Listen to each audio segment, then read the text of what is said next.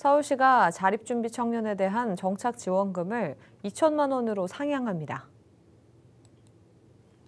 자립준비 청년은 아동양육시설 등의 보호를 받다 만 18세가 넘어 홀로서기에 나서는 청년들을 말합니다.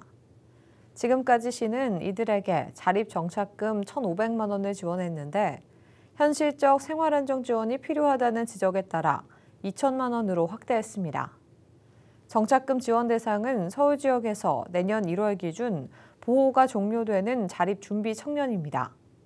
9월부터는 하반기 서울 대중요금 인상하는 것을 고려해 자립준비 청년에게 매달 6만 원을 현금으로 추가 지원합니다.